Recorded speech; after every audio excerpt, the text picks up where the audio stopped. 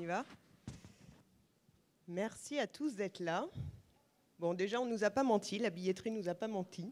La salle est pleine. Merci à Monsieur le maire et à Philippe Lapousterle d'avoir euh, organisé et d'initier ce, bel événement où on peut prendre le temps de se parler.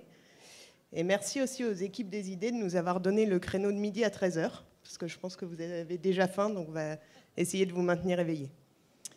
Euh, et pour vous maintenir éveillés, on va essayer de sortir du cadre. Alors là, je vais embêter un petit peu la technique, je pense. Aujourd'hui, on accueille Bérénice et Clara, donc qui sont mère et fille, mais pas que, et surtout pas que. Bérénice est auteure, elle a fait des études de lettres, je crois, et son dernier ouvrage, c'est Astrée et la vie devant soi. Tu me coupes si c'est pas ça. Euh, et elle est aussi journaliste jeunesse. Et oui, Bérénice fait bien partie de la génération Y, elle a plusieurs métiers. Et on a Clara, Clara qui est haut fonctionnaire, qui a fait l'ENA, qui est une euh, ancienne présidente d'un grand groupe américain en France et qui est désormais entrepreneur. Clara a euh, qui est un fonds d'investissement et qui est un accélérateur des entreprises de croissance en France. Jusque-là, tout va bien? Wikipédia nous donne les bonnes versions et vos statuts sociaux sont posés. Mais ce n'est pas ça qui va nous intéresser aujourd'hui. Ce qui va nous intéresser aujourd'hui, c'est qu'elles ont écrit un livre ensemble. Et ce livre, faut qu'on parle, Le monde a changé. Et oui, le monde a changé. Et ce livre d'échange, c'est un livre d'écoute, un livre de dialogue, un livre qui traite les changements du monde comme le travail, l'environnement, notre rapport à la démocratie et cet autre thème passionnant. Alors, en préparant un petit peu euh, ce que j'allais vous dire et ce qu'on allait vous dire aujourd'hui, oui, oui, parce que ce n'est pas juste de l'improvisation en fait, euh, à l'heure où le dialogue social est en panne, à l'heure où le dialogue international aboutit plus à des confrontations qu'à des résolutions, à l'heure où le dialogue politique et citoyen est plutôt dans la défiance, à l'heure du selfie, du zapping de l'info, des 140 caractères de Twitter, du live Facebook et du langage SMS, est-ce que le dialogue est le vrai Est-ce que le dialogue est au final euh, le nouveau révélateur de progrès? Est-ce que prendre le temps de se parler, ça ne serait pas une des solutions? Alors on va avoir l'éclairage de Clara et Bérénice là-dessus puisqu'elles ont vécu une expérience quand elles ont écrit ce livre. Et on va d'abord vous écouter pour savoir euh, comment est née, comment est née cette idée de livre dialogue entre deux générations. Euh, moi j'ai 56 ans, je suis euh, une petite sœur de mai 68 et je me suis rendu compte assez vite dans ma vie professionnelle, dans ma vie sociale, que tous les jours j'apprenais de mes enfants. Euh, c'est pas au, travail que j'ai appris Facebook, c'est pas au travail que j'ai appris Twitter, c'est pas euh, en lisant les journaux que j'ai appris comment utiliser telle ou telle application sur, euh, sur mon iPhone, c'est grâce à mes enfants. Et surtout, ce dont je me suis rendu compte, c'est que quand on discutait en famille ou quand je discutais avec des jeunes, leur vision et les valeurs qu'ils portaient challengeaient complètement celles avec lesquelles ma génération s'était construite. C'était pas juste une crise d'adolescence. C'était pas, euh, c'était, il n'y a pas a pas tellement de crise d'adolescence dans la génération Y. C'est une génération qui, a priori, s'entend plutôt bien avec ses parents.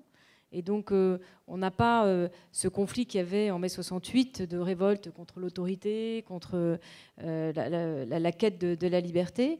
Mais je me suis surtout rendu compte que la génération Y construisait un monde nouveau à côté d'une autre. Et que si nous qui avions le pouvoir et l'argent, nous voulions comprendre et pouvoir être acteurs de ce monde qui vient, et surtout le permettre, comme le dit très bien Saint-Exupéry, eh bien nous devions devenir les élèves de nos enfants. Et c'est comme ça qu'on a eu euh, l'idée de, ce dialogue. Euh, d'ailleurs, au départ, pour être tout à fait honnête, moi je souhaitais que ce soit un livre euh, où à la limite j'aurais écrit la préface pour dire pourquoi je voulais ce livre, mais qui soit un livre euh, où la génération Y puisse expliquer qui elle est, ce qui la motive, ce qui la fait vivre, etc. Et Bérénice et, l'éditrice m'ont convaincu qu'il fallait que ce soit un dialogue pour que, euh, parce que la génération Y avait aussi besoin de nous comprendre. Oui, et en fait, alors juste pour répondre à ta question, euh, la raison pour laquelle moi j'ai voulu écrire ce livre, c'est pour ce que tu dis, parce que j'avais vraiment l'impression que ma génération était beaucoup critiquée, alors peut-être parfois à raison, mais souvent aussi à tort, et j'avais envie de poser un peu des mots pour expliquer pourquoi, sur beaucoup de sujets, on ne pense pas exactement comme nos parents, alors qu'on n'est pas conflictuel, qu'on a, qu'on a été élevé dans le même monde qu'eux jusqu'à un certain point, euh, mais que beaucoup de choses ont changé et c'est pas lié à une crise d'ado ou une envie de se rébeller, c'est juste que les valeurs euh, avec lesquelles on a grandi sont plus forcément en adéquation avec le monde qui vient. Euh, ça c'est la première chose. La deuxième, c'est que on va pas jeter le bébé avec l'eau du bain. c'est pas parce qu'on constate que un certain modèle est arrivé à une limite qu'il faut faire table rase du passé complètement et repartir à zéro. Moi, ce que j'avais envie, c'est aussi d'essayer de comprendre ta génération parce que il y a plein de choses euh, qui me semblent aberrantes. Il y a plein de choix politiques qui me semblent aberrants. Il y a plein de, sujets dont j'aimerais qu'on parle plus et dont on ne parle jamais. Euh, et tout ça, j'avais envie de comprendre comment cette génération s'est construite, pourquoi ces valeurs sont ces valeurs, et qu'est-ce qu'on peut garder et qu'est-ce qu'il faudrait euh, changer. Et il a fallu écrire un livre pour pouvoir se parler? Non, c'était pas. On a, les débats sont toujours très animés. C'est pas. C'était pas tellement le fait de d'avoir besoin d'un livre pour, euh, pour, pour, se parler, c'est que euh, on, voulait poser par écrit, à chaque fois qu'on en discutait, euh, soit moi avec des jeunes, soit avec des, gens de ma génération, Bérénice, inversement, on retrouvait toujours les mêmes thèmes. Mmh. comme le, fait, par exemple, que dans, dans ma génération, on a appris que consommer c'était bien. Quand on avait l'argent pour quand on avait gagné l'argent pour le faire et eh euh, surtout euh, moi je mon mari est, fils de commerçant donc euh, aller acheter oui il fallait acheter dans la boutique d'à côté parce que ça lui permettait de vivre etc donc la consommation était quelque chose de bien. Et j'ai compris en discutant avec en écrivant ce livre avec Bérénice que on pouvait la génération Y pouvait considérer que consommer c'était mal c'était pas qu'il et que euh, il y avait tout un que nous avions un comportement assez infantile face à la consommation, puisqu'on se posait pas nécessairement la question de savoir quand on achète quelque chose d'où ça vient, est-ce que ça pollue, euh, quel, quel, euh, quel, est l'impact sur la planète, qui l'a fabriqué, etc. D'ailleurs, sur, sur, cette histoire de pollution, j'aurais aimé que Bérénice, quand on a préparé, tu m'as raconté l'histoire du poulet. Et je trouve que ce poulet, il est très symptomatique de ce qui peut vous séparer. Alors l'histoire du poulet, euh, c'est que euh, la question, c'est de savoir quelle est la différence entre le prix et le coût de quelque chose qu'on achète. Donc ça peut être les poulets, ça peut être un t-shirt euh, à 5 euros. le poulet, il coûte pas cher. Aujourd'hui, la viande n'a jamais coûté aussi peu cher en France. et pourtant, il coûte énormément d'argent à produire en termes écologiques, en termes sanitaires, en termes humains. Mais ce coût n'est pas supporté par la personne qui achète le poulet, c'est-à-dire nous. Donc en fait, on a l'impression que le poulet, c'est devenu une denrée euh, très accessible et c'est quasiment au prix d'une baguette de pain, j'exagère à peine. Mais en réalité, fabriquer de la viande, euh, ça coûte nécessairement plus cher que de faire du pain. Et ça devrait coûter plus cher que faire du pain. Et donc quand on a accès à des produits qui sont aussi peu chers, la question est de se poser qui paye, qui paye la différence de prix? Et comment est-ce qu'on arrive à produire un poulet aussi peu cher euh, qui soit nutritif, dans lequel les éleveurs se rémunèrent, euh, dans lequel euh, on mange de un animal qui n'a été ni torturé ni gavé de médicaments. Donc euh, voilà, c'est l'idée de repenser notre modèle en se disant c'est pas parce que c'est pas cher que c'est bien. Donc Clara, tu as arrêté d'acheter des poulets à 8 euros. oui, oui mais d'abord, ce que je disais tout à l'heure, je deviens l'élève de, de, mes, de mes enfants, mais c'est surtout ce que, ce que Bérénice soulève, c'est les externalités négatives qu'on ne prend jamais en compte dans la consommation telle qu'elle est aujourd'hui évaluée. Euh, et, ces externalités négatives, euh, elles, ont un coût pour la société. elles peuvent entraîner euh, des coûts écologiques, bien sûr, mais des coûts de société, des coûts par rapport au, travail des enfants, etc. Des tas d'éléments qui sont qui sont pas. Il n'y a pas d'un côté la consommation et d'un côté les questions sociétales, environnementales, etc. Dans chacun des gestes qu'on accomplit tous les jours, euh, y a, on a un impact quand on consomme.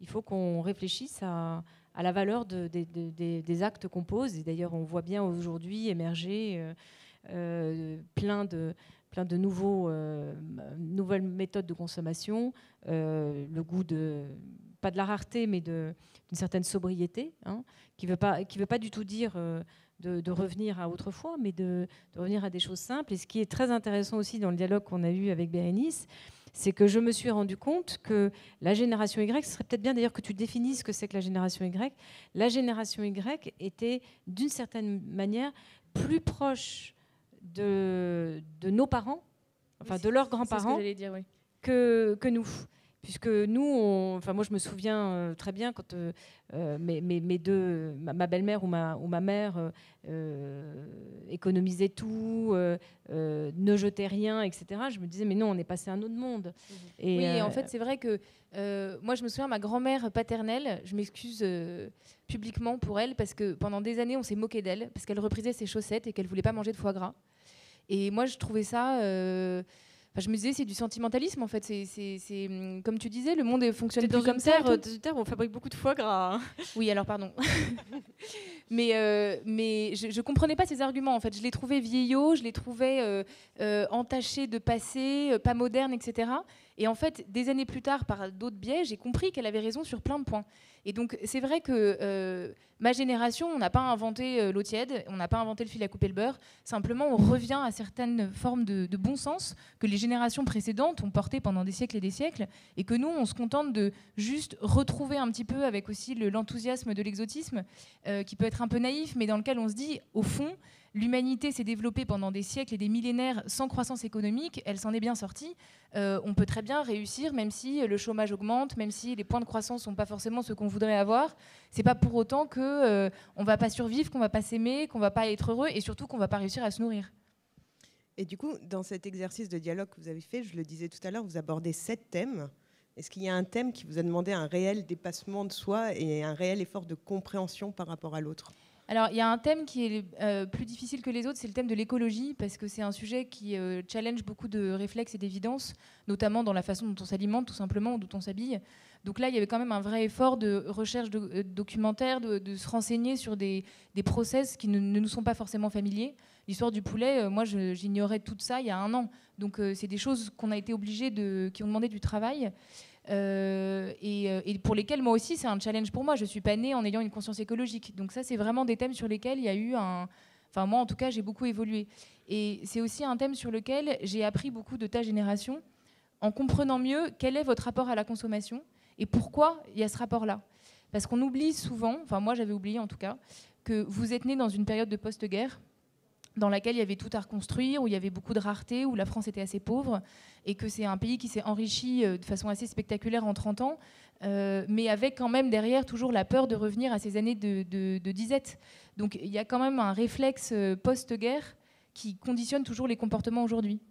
Ce qui a été très intéressant dans, l'écriture de ce livre, c'est que c'est un dialogue qui est quelquefois très tonique, hein, on n'est souvent pas d'accord, mais euh, vous voyez là, maintenant, moi j'explique ce que dit Bérénice et Bérénice explique, ce que je dis, ce qui prouve qu'on a fini par se, non pas par se convaincre, mais voir que les deux approches, elles sont, euh, elles sont même si elles sont très très différentes, elles sont complémentaires et qu'on peut ne pas être d'accord et quand même se comprendre. C'est-à-dire que on n'est pas dans, on n'est pas nécessairement être obligé d'être euh, d'accord avec son interlocuteur pour comprendre, euh, comme on disait en mai 68, d'où il parle mhm. et, d'où il vient.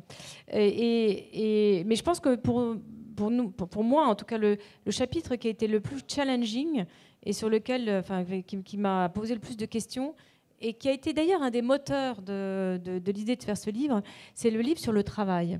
Et euh, encore une fois, ni Bérénice ni moi, nous n'avons la prétention d'incarner la génération euh, qui, a, notre âge. On essaye simplement d'essayer de, traduire ce qui nous semble se passer euh, euh, aujourd'hui.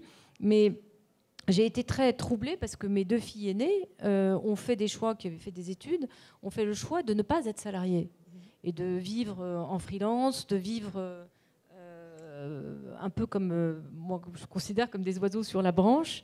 et du coup, ça m'a vraiment euh, questionner en me disant mais comment la génération Y, et encore une fois je pense qu'il faut que tu définisses ce que c'est que la génération Y, quel est, quel est le rapport au travail, pourquoi, euh, pourquoi il y a tellement d'incompréhension entre euh, les, notre génération et la génération qui, qui, a, qui, a, 25 ans et qu'on recrute et à qui on reproche toujours de poser comme première question quand est-ce qu'ils peuvent prendre des vacances. quels vont être les horaires de travail, comme si et qu'on qu'on accuse d'être paresseux. Euh, alors qu'ils ont euh, tout simplement une autre logique et une autre philosophie de, vie que la nôtre. Et, ça, ce chapitre-là sur le travail, il a été pour moi euh, à la fois très éclairant et il m'a demandé de, remettre en cause un peu les, valeurs sur lesquelles je m'étais construite puisque pour moi, le travail, c'était l'autonomie, c'était la liberté. quand, on avait, quand, on, quand on avait 20 ans, on, voulait pouvoir partir de chez soi, construire sa propre vie, avoir un métier. On acceptait de prendre des, des boulots qui ne nous plaisaient pas forcément, mais parce que l'autonomie était quelque chose de très très important. Et, euh, et, puis, bah, quand on est au travail, on obéit aux règles du jeu, de l'entreprise, de la société. On, était assez des, on a été des élèves assez obéissants, des fourmis d'ailleurs assez formidables, parce qu'on a changé le monde hein, aussi. Hein. Il ne faut jamais oublier, il euh, euh, faut quand même dire les choses pour ne pas trop condamner notre génération ma mère est née euh, en, 1926, elle a 88 ans, elle a bon pied, bon oeil. Euh, quand elle est née, il y avait 1,5 milliard d'habitants sur la planète, il y avait 1 milliard de pauvres. Et aujourd'hui, Aujourd'hui, il y a 7 milliards d'habitants sur la planète. Il y a toujours un milliard de pauvres. Ce n'est pas normal, mais la pauvreté n'a pas augmenté dans le monde. Elle a plutôt diminué. Et euh, il y a, a 6 milliards d'habitants qui dont les enfants vont à l'école, qui ont droit à la santé, qui ont un métier, qui ont un toit, etc. Et ça, c'est une seule génération qui l'a fait. Mhm. Mais en fait, euh, je pense que ce qui est important, pour euh, parler de la question du dialogue, pourquoi c'est important de se parler? Euh, moi, ce que j'ai trouvé fondamental dans notre, dans, dans, notre intention du livre, en tout cas pour moi, c'était de dépasser nos désaccords pour essayer de comprendre pourquoi on pense comme on pense. Parce qu'en fait, on est toujours assez conditionné par l'époque dans laquelle on vit et par euh, le, pays dans lequel on vit, euh, la façon dont on a été élevé, etc. Et donc là, je vais pouvoir euh, définir la génération Y. suspense. donc la génération Y, c'est grosso modo, je vous la fais courte, c'est des gens qui ont aujourd'hui entre 22 et 32 ans.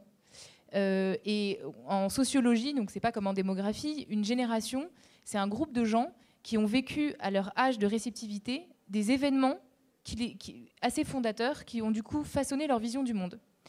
Euh, donc c'est vrai que nous, moi, ma génération, à quelques années près, nous, on a vécu la révolution numérique à un âge où on était à peu près adolescent. Donc on a connu le monde sans, mais en revanche, on n'a pas eu de vie d'adulte sans ça. Donc pour nous, le, progrès technologique, on a grandi avec et il a grandi en même temps que nous. Donc ça conditionne évidemment la façon dont on communique, dont on se fait des amis, dont on tombe amoureux aussi, dont on gagne de l'argent, dont on voyage, etc. Enfin, ça, je vous apprends rien. Euh, mais tout ça pour dire que, euh, au fond, moi, je sais que mes opinions sont mes opinions parce que je suis née à ce moment-là de l'histoire, dans ce lieu-là, et que je pense comme je pense pour ces raisons. Et en fait, euh, dès qu'on se met à se mettre à table et expliquer, aller au fond de ce qu'on pense, on se rend compte que c'est notre environnement qui nous, qui nous amène à penser comme ça. Et donc, ça, nous évite de nous camper sur des positions en disant mais toi tu penses ça parce que tu es vieux et con et moi je pense ça parce que je suis jeune et, naïve. Euh, non, on pense comme on pense parce que le monde change autour de nous. Mais, mais en termes d'environnement, vous êtes de la même famille. Donc l'environnement est, relativement oui, mais proche. Oui, mais le, monde autour de nous, notre contexte socio-économique n'est pas du tout le même.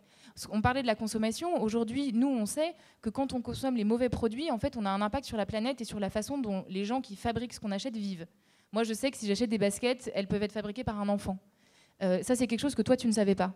Donc mon attitude face à ma paire de baskets n'est pas la même que celle de ma mère, alors qu'on est très proches, mais parce que les informations ne sont pas les mêmes, la façon dont les baskets sont fabriquées n'est pas la même. Et c'est ça qui fait qu'on change de prisme. Donc Clara, le poulet à 8 euros, les baskets Nike fabriquées en Chine. Pas forcément des Nike, hein. je pense qu'il ne faut pas attaquer les marques. Hein, mais, Ou euh, autres.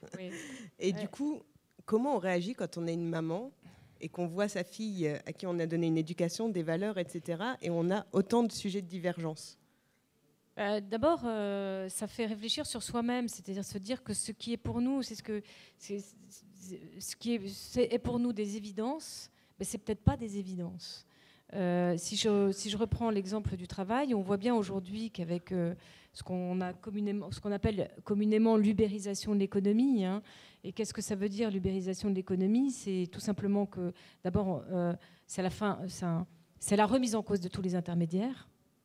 Donc euh, parce que le, euh, je peux directement avoir accès aux fournisseurs, aux producteurs, ou même me mettre avec d'autres gens pour fabriquer quelque chose. Donc j'ai pas besoin de toute cette organisation, cette structuration, cette hiérarchie, etc. Au fond, ça remet, ça remet en cause le fait que la notre, notre société, et particulièrement la société française, elle s'est construite tout le temps, et pas simplement euh, sur le plan politique, mais dans les entreprises, où à chaque fois qu'il y avait quelque chose qui n'allait pas, soit on change l'organigramme dans une entreprise, soit on fait un texte de loi dans, la société, et on, remet des process et de l'organisation. Et tout ça, c'est balayé par l'ubérisation, parce que finalement, dans l'ubérisation, on n'a pas besoin ni de process, ni d'organisation, etc. C'est les choix individuels des uns et des autres qui se rejoignent pour un projet euh, euh, qu'ils mènent ensemble. Et, donc on voit bien que cette fracture brutale, elle vient perturber la façon dont on pense. C'est-à-dire que nous, quand il y a un, pilier qui va pas bien, et eh ben on se dit on va changer le pilier, on va le réparer, on va en mettre un neuf. Et là, la génération Y, elle dit mais pourquoi ce pilier? Est-ce que vous êtes sûr que ce pilier est utile? Est-ce qu'on ne peut pas tout simplement l'enlever? Parce que de toute façon, on peut faire complètement autrement. Et juste pour expliquer vraiment ce que c'est que l'ubérisation, je voudrais prendre l'exemple du monde hôtelier que, tout le monde connaît. Euh, euh, traditionnellement, quand on, allait dans une chambre d'hôtel, on réservait, on essayait de trouver le numéro de l'hôtel, etc. Le monde hôtelier, s'est trouvé bouleversé par trois phénomènes. Le premier, c'est qu'il y a eu des plateformes en ligne comme euh, que vous devez tous utiliser, comme TripAdvisor, Hotel, Hotel booking, et Hotel.com, qui vous permettent de réserver en ligne d'abord et puis d'émettre un avis. Donc ça veut dire que le monde hôtelier, un, il s'est trouvé confisqué d'une certaine marge, puisque la marge, elle a été prise par, les, ceux qui distribuaient, coupé du client, puisque le client ne, ne, vient plus directement à eux, coupé de la base de données d'informations sur ce que pense le client et comment essayer d'influencer euh, le client. Et en plus de ça, il y a Airbnb qui est arrivé, et Airbnb, ils ont zéro chambre d'hôtel, zéro femme de ménage, euh, zéro euh, locaux. Et euh, ils arrivent à faire aujourd'hui plus de nités que, que Accor et Hilton réunis. Donc c'est assez glaçant. Et on voit bien que c'est ce business model assez classique qui doit complètement se repenser euh, parce que l'ubérisation arrive. Et, euh, donc, ce n'est pas simplement le retour vers le passé, la compréhension vers les valeurs traditionnelles, enfin, valeurs de, de bon sens, pour pas dire des valeurs traditionnelles, mais c'est aussi le fait que l'économie d'aujourd'hui, elle permet, avec beaucoup, beaucoup, beaucoup moins de moyens, de faire beaucoup, beaucoup plus de choses. En fait, pour euh, résumer ce que tu viens de dire, on est un peu en train de passer d'une économie euh, verticale à une économie horizontale. Enfin, je dis une économie, en fait, une, organisation de société une organisation de civilisation même puisqu'on parle, beaucoup d'observateurs parlent d'un changement de civilisation qui est en train de se produire. Et en fait, ça affecte l'économie, mais ça affecte aussi la politique, ça affecte aussi euh, la façon dont on travaille, ça affecte la façon dont on fait des choix, dont on fait des familles, donc plein de choses. Du coup, le dialogue, c'est une réponse et c'est une, une, mesure qui peut, qui peut aider à la compréhension de tous ces changements? Oui, parce qu'en fait, le monde change hyper vite autour de nous et ça change vite pour moi aussi. Hein. Moi aussi, je suis dépassée à plein de niveaux. Donc on ne peut pas dire euh, on est une génération qui est spécialiste de l'avenir et l'autre génération qui comprend rien. C'est beaucoup plus euh, évidemment nuancé que ça. Mais en revanche, je pense qu'on ne peut arriver à répondre au challenge de demain, mais c'est vrai dans, dans tous les aspects de la vie, qu'en se parlant qu'en essayant de comprendre qu'est-ce que tu veux, qu'est-ce que je veux, qu'est-ce qui est important pour nous, où sont nos valeurs, qu'est-ce qui est fondamental et qu'est-ce qui, est, euh, qu'est-ce qui ne l'est pas.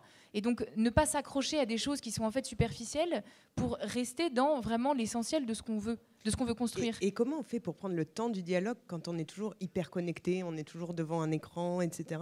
Comment on fait bah, pour je pense déconnecter que c'est absolument indispensable. Enfin, je pense qu'il faut, voilà, là, ça fait partie des, des choix qu'on fait dans sa vie. Est-ce qu'on décide de comprendre le monde qui nous entoure et les gens avec qui on vit ou pas, quoi? C'est un peu ça.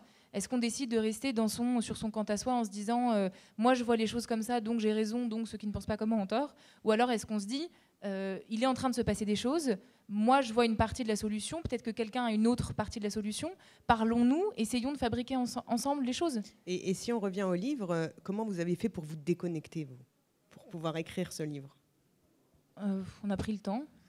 On a pris le temps. D'abord, Bérénice vivait au Danemark à cette époque, donc on s'écrivait beaucoup. Et puis moi, j'ai pris, enfin, on a pris des plages de temps l'une et l'autre où on s'est retrouvés euh, pendant 3-4 jours. Euh, on recorrigeait tout ce qu'on s'était échangé, tout ce qu'on avait partagé. Euh, et, et, la saveur du temps long, c'est quelque chose d'assez exceptionnel. Mais je voudrais revenir à ta question, Pauline, parce que je pense qu'elle est clé, pas simplement pour le dialogue qu'on a eu entre nous, mais le, pour le monde d'aujourd'hui. Aujourd'hui, on, on est dans un paradoxe total parce qu'on n'a jamais eu autant de statistiques, autant de chiffres. Tout le monde parle de la big data, euh, de toutes les. Euh, dans, une nanoseconde, on peut évaluer euh, quelle population va aimer tel produit, etc.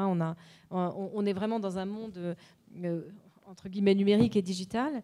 Et le paradoxe est que on est notre monde est celui qui, sait le moins ce que sera demain.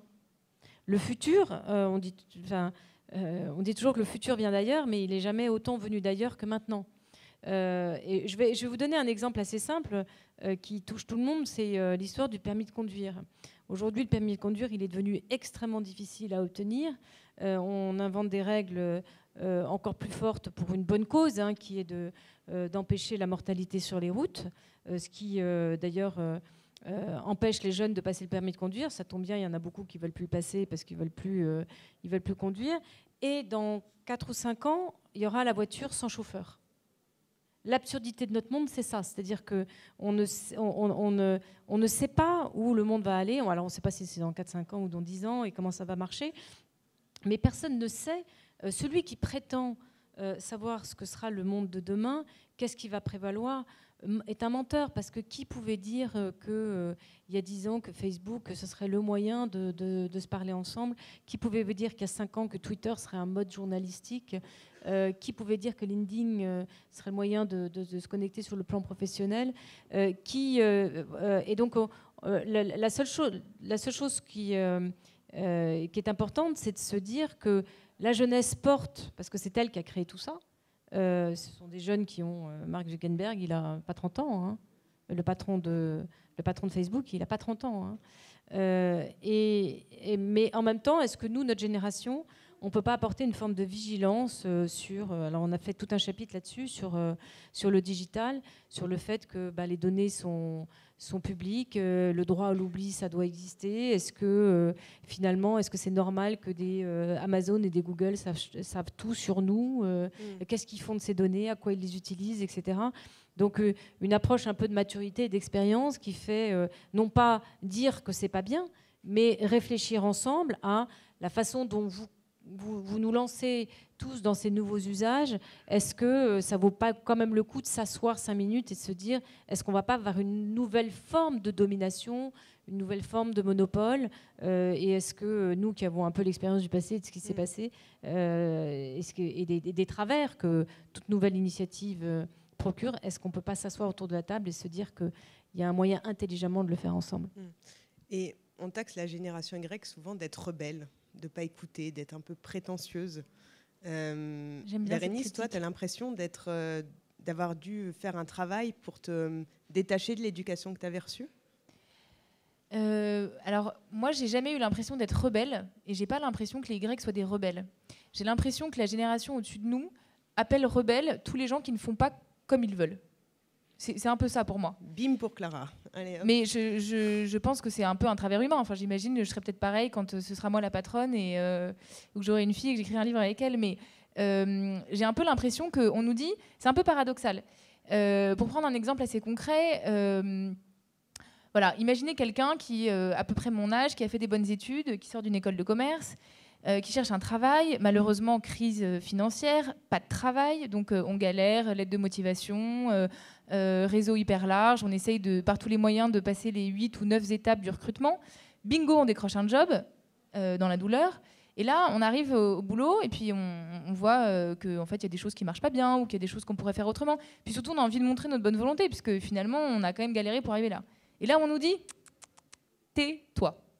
Tais-toi et fais ce que je te dis de faire. Alors, on nous dit oui, mais moi, j'ai fait des études et puis j'ai appris que, et puis j'ai vécu dans tel pays, ils font autrement, et machin et trucs. Et là, on nous dit non, non, non, non, tu te tais, tu fais ce qu'on te dit. C'est hyper frustrant. Et là, il n'y a pas de dialogue. Là, il n'y a pas de dialogue. Là, il y a une entreprise qui ne veut pas utiliser un potentiel parce qu'elle n'arrive pas à le comprendre et qu'elle n'arrive pas à voir son efficacité. Elle a peur, peut-être. Euh, et qui s'agrippe à des process euh, en se disant euh, ça marche pas, donc continuons à le faire. Et nous, on est là un peu sidérés en se disant mais attends, on m'a dit qu'il fallait que je sois la meilleure, la plus investie, la plus créative pour avoir ce job. Et j'arrive sur ce job et on me dit de ne rien faire. Donc là, euh, ça marche pas, quoi. Euh, donc là, c'est vrai qu'il y a un truc où nous, on a plein de bonne volonté, on se dit, il faut que je fasse preuve d'initiative et qu'on nous dit, euh, vous êtes insolents, vous êtes des rebelles, vous ne voulez pas obéir, euh, nous, à votre âge, on en a chié et tout. Voilà. Et là, j'aimerais bien entendre Clara, parce qu'elle est de l'autre côté, donc plutôt côté recruteur. C'est vrai? Oui, c'est amusant parce qu'on a eu une anecdote dans, dans dans l'endroit où on, dédicaçait nos livres, il y a un monsieur très bien, chef d'entreprise, qui est venu nous voir qui nous dit Moi, je vais acheter votre livre et, je veux vraiment comprendre parce que je recrute des jeunes, je les forme pendant deux ans et puis après, ils partent. Et je les trouve ingrats. ils sont ils sont pas investis, etc. Et, des vrais Y. Des, vrais Y. Et, Bérénice a répondu, et puis ils n'acceptent pas l'autorité, ils n'acceptent pas qu'on leur dise comment il faut faire, etc. Et Bérénice, avec un grand sourire, lui a répondu, mais c'est exactement ça le sujet. Et pourtant, c'est un très bon patron, c'est c'était une belle entreprise. Et, au fond, euh, ce que ce qu'apporte la génération Y, c'est l'idée que, que, nous, nous devons euh, euh, prendre en compte quand on est dirigeant, c'est que euh, nos méthodes, euh, elles ont peut-être très très bien marché pendant des années, mais elles ne sont plus peut-être efficaces. Moi, je me souviens que euh, ça s'est un peu amélioré, mais il y a encore quelques années, moi j'avais des jeunes que je recrutais qui me disaient écoutez, aujourd'hui je vais travailler de chez moi. Et je dis mais pourquoi tu vas travailler chez toi? Ils me disaient mais parce il va que. glander, quoi. Mais parce que mon informatique marche mieux qu'au bureau parce que euh, les, nos ordinateurs, nos systèmes, les sécurités, euh, les impossibilités, etc. Et il y a même encore, mais il n'y a pas très longtemps, il y a encore... Euh, il y a encore 3-4 ans, dans l'entreprise, on se demandait est-ce qu'on laisse l'accès Facebook en entreprise? Plein d'entreprises qui ne le laissent pas. Hein. En, disant, hein. en se disant, mais Facebook, ils vont faire autre chose, etc. Alors que Facebook, c'est un outil. C'est un outil de, travail comme un autre. Et puis, après tout, la, seule chose qui compte, c'est que le travail soit fait. Si euh, aujourd'hui, euh, une, personne qui travaille euh, entre deux, trucs fait ses courses sur Internet pour pouvoir rentrer plus tard, bah, très bien. On n'est plus du tout dans, un mode de, de paternaliste et très organisé, très hiérarchisé qui existait autrefois. Donc, mais c'est vrai que ce que dit Bérénice, c'est pas forcément pour notre génération une, mauvaise volonté, c'est tout simplement que nos entreprises sont organisées, comme je disais tout à l'heure, avec des process qui empêchent ça. C'est-à-dire qu'on ne peut pas remettre en cause aussi, aussi facilement que ça, la sécurité euh, du produit pour le client, euh, la, qualité du, service qu'on opère. Et si on a mis en place toutes ces organisations, ce n'était pas simplement pour se faire plaisir, c'était pour apporter une meilleure qualité, une meilleure sécurité, etc. Donc il y a des enjeux qui sont très compliqués pour les entreprises. Et encore une fois, pour notre société. C'est vrai dans le. Moi, je pense que ce serait bien qu'on aborde euh, le domaine politique, puisque euh, il y a des enjeux qui sont importants dans, dans, les jours qui viennent. Mais euh, moi, je n'avais jamais pensé au fait que dans, dans, un monde où dès que vous faites un voyage, vous pouvez cliquer pour dire le voyage m'a plu, mm. la chambre m'a plu, etc. Que effectivement les jeunes disent moi voter tous les cinq ans, c'est pas pour moi être citoyen. Je m'étais jamais posé la question. Et Bérénice le développe dans le livre. Et je pense que c'est important que tu en parles parce que euh, notre société doit repenser sa façon d'exercer son, son, rôle de citoyen. Oui, on parle rapidement du chapitre politique et après on parlera de la vision de la femme parce qu'on veut vous entendre là-dessus aussi. Alors rapidement sur la politique, euh, la politique c'est un peu comme euh, tous les autres sujets. Quand, quand, on a une organisation verticale, en tant que citoyen, on, on voit des leaders potentiels et on s'attend à ce qu'ils nous délivrent des réponses. Aujourd'hui, euh, on l'a dit, le monde change très vite, euh, il y a plein de paramètres à prendre en compte. On n'a jamais été aussi bien informé, donc on n'a jamais aussi euh, autant compris la complexité auxquelles sont confrontés les politiques tous les jours. donc ça n'a jamais été aussi difficile de faire un choix. Enfin, je ne sais pas vous, mais moi je trouve ça difficile. mais le, truc, c'est que on ne peut pas demander à des gens qui sont aussi démunis que tout le monde, qui ne sont pas des voyants, qui n'ont pas réponse à tout, de nous délivrer une réponse de comment on va faire demain. Personne ne le sait. Et du coup, moi, je, pense que je me sentirais beaucoup plus impliquée dans un système politique qui est plus englobant, qui dit, OK, on se met à table, on décide ensemble qu'est-ce que vous voulez faire? C'est quoi vos avis, c'est quoi vos idées, c'est quoi les sujets prioritaires pour vous? Plutôt que de faire un espèce de catalogue de, il propose ça, il propose ça, et puis en fait, tout le monde est un peu déconnecté de la réalité puisque ça ne remonte pas du citoyen. Et la démocratie participative, c'est pas un peu ça? Ah, Exactement. Tout à fait. Et je trouve que la politique, c'est vraiment un sujet sur lequel on s'en rend bien compte avec tout ce qui s'est passé euh, en Angleterre, aux États-Unis, qu'il y a un, vrai problème, il y a une vraie fracture entre euh, ce que veulent les gens et ce qui est débattu dans les médias. Ou ce qui. Mais derrière ça, ça veut dire infiltrer vraiment un système de transparence. Est-ce que tu crois que c'est possible? C'est pas uniquement de la transparence. Moi, c'est pas c'est pas quelque chose qui me. C'est plutôt, je dirais, le fait de remettre de la démocratie à des échelons inférieurs. Parce qu'aujourd'hui, la démocratie, pour moi, telle que je l'ai vécue en tant que citoyenne lambda, c'est tu votes une fois tous les cinq ans, et puis après, tu te plains pendant cinq ans du dirigeant qui a été élu. voilà, on peut Faut faire mieux, je pense. pour faire ça Tout le monde fait ça. Franchement, j'ai jamais vu ça. Je sais pas si vous regardez les couvertures des magazines, enfin des, des hebdomadaires, mais c'est toujours le président de la République avec une phrase d'insulte en dessous. C'est quand même pas normal, quoi. Et donc la démocratie, c'est pas uniquement élire son président une fois tous les cinq ans, c'est faire la démocratie dans son immeuble, dans son quartier, dans sa ville. Euh, c'est de faire des choix si on veut une piste cyclable ou euh, une autoroute. Euh, enfin, c'est ça la démocratie, c'est à plein d'échelons différents. Et ça, c'est un truc que l'outil numérique peut nous permettre de reconstruire, ou en tout cas de faire de façon plus efficace. On, cite un, exemple dans le livre qui m'a beaucoup marqué, puisque on, on est. euh, Enfin, moi, je suis à moitié danoise, donc j'ai transmis euh, le virus du Danemark à, ma fille avec euh, justement ce concept de Hugues, de Hugues qui est euh, aujourd'hui à la mode. Mais l'exemple que je voulais donner, c'est celui d'un architecte danois qui euh, a travaillé sur euh, l'aménagement d'une place. Et c'était une place où vivent 70 nationalités.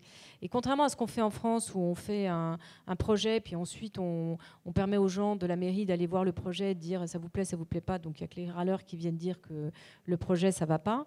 Il est parti d'une démarche complètement différente, qui était de demander aux gens quels étaient les éléments sur les places de leur pays qui étaient le plus rassembleurs. Et donc il a collecté tout le savoir du vivre ensemble de, de ces différentes communautés. Et ça, c'est des Et- nouvelles formes de dialogue. Et, euh, et donc, euh, en faisant ça, il a aménagé un espace qui est absolument incroyable, où vous avez euh, une fontaine turque, vous avez un banc belge, vous avez un abribus qui vient de qui vient d'Iran, etc. Et qui, qui donc mélange les, ce qu'il y a de mieux dans le vivre ensemble de, de- de toutes les cultures. Et cette place est tout le temps pleine. Tout le monde joue Ah oui, ensemble. j'habitais à côté, moi.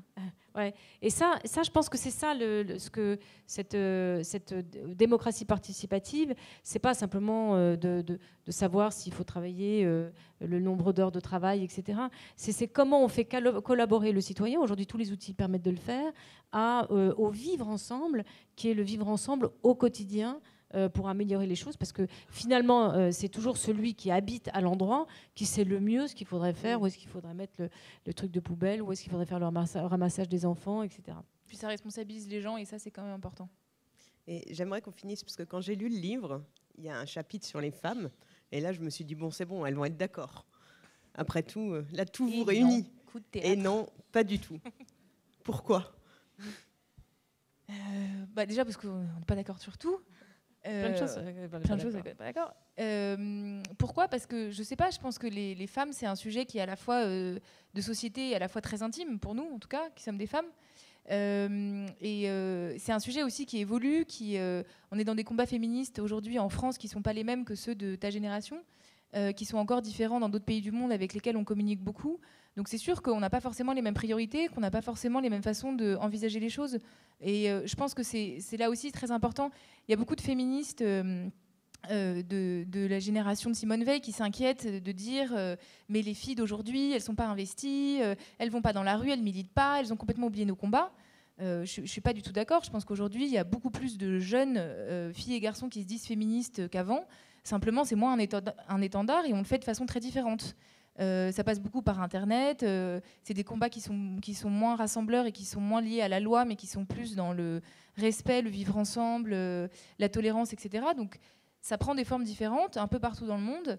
Euh, voilà, mais je pense que Ce qui nous a, quand même euh, d'accord. Ce qui nous a particulièrement, euh, je vais pas dire opposé, mais c'était des points de vue complètement différents. C'est-à-dire que c'était surtout le fait que moi, ma génération, c'est une génération qui euh, voit le féminisme comme, euh, je pense comme beaucoup de vous, dans, beaucoup de personnes dans la, dans la salle.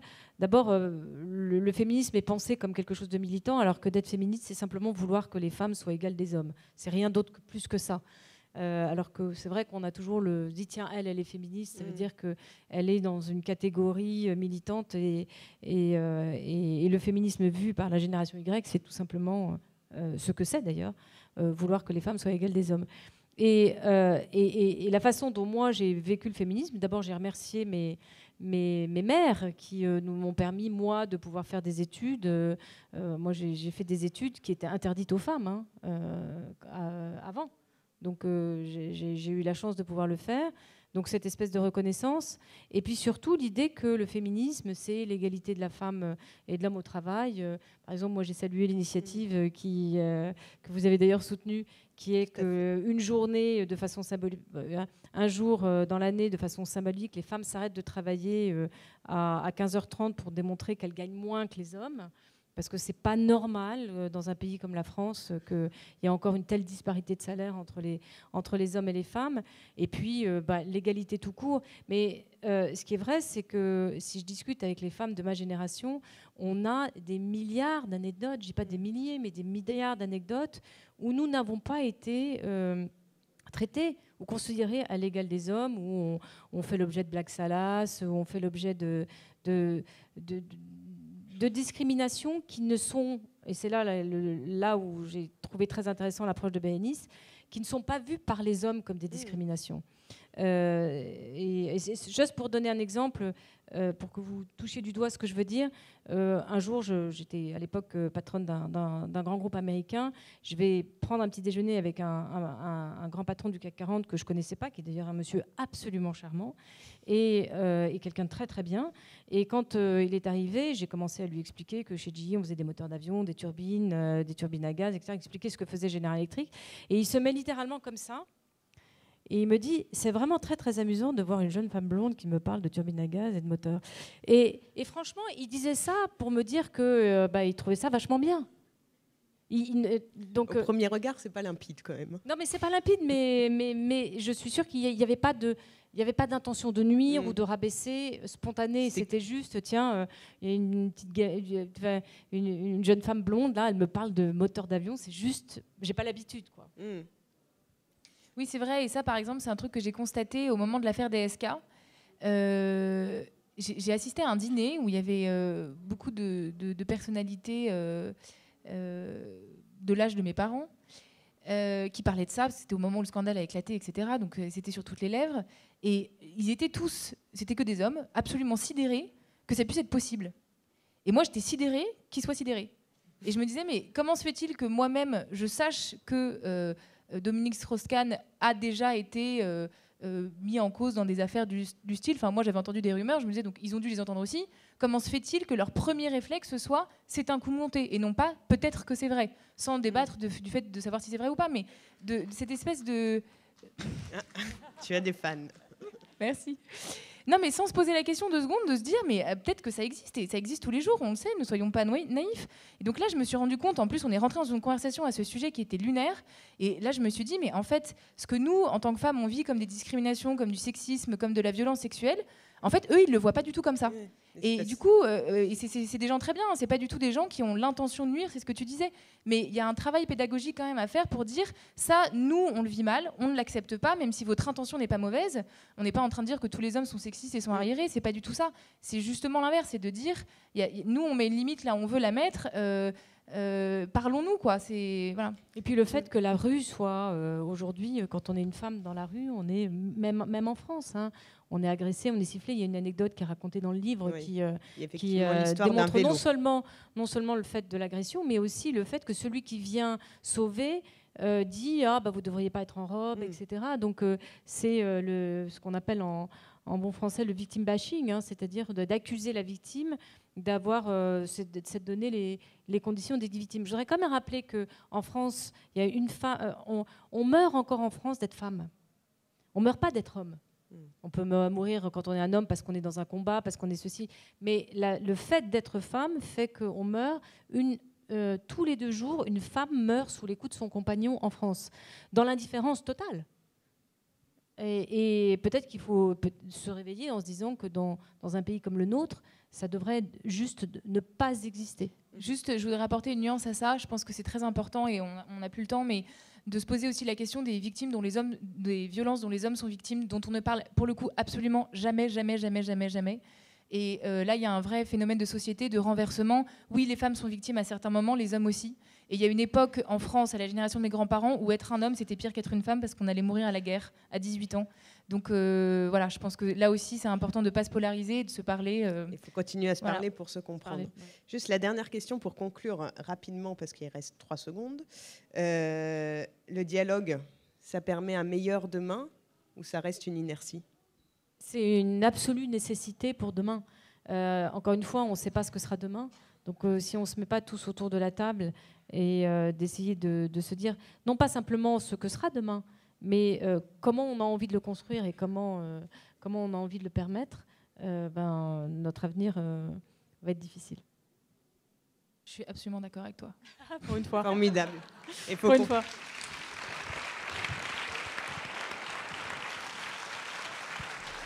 Il y a un générique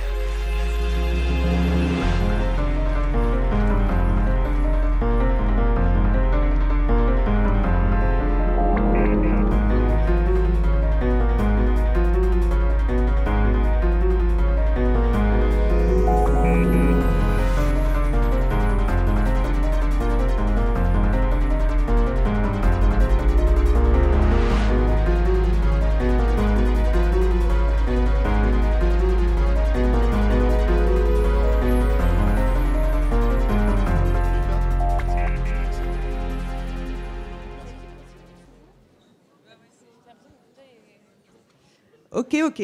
Alors, faut qu'on parle avec la salle. Jeu de mots.